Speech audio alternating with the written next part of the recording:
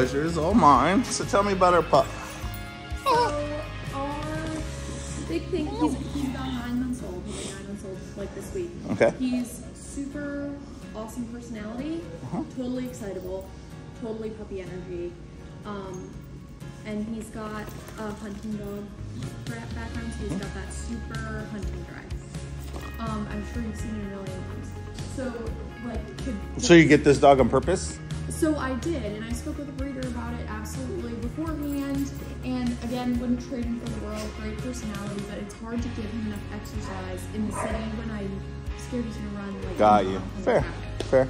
Um, and he's really pretty sweet 98% of the time, but like the moment he sees people, Uh-huh. boys, um, particularly like a stick, a ball, he's going for it. Fair. So sweet and lovable, but sometimes he can be naughty. Does he know any commands? So he's pretty good with basic commands, but distractions will totally be broken. Okay. Um,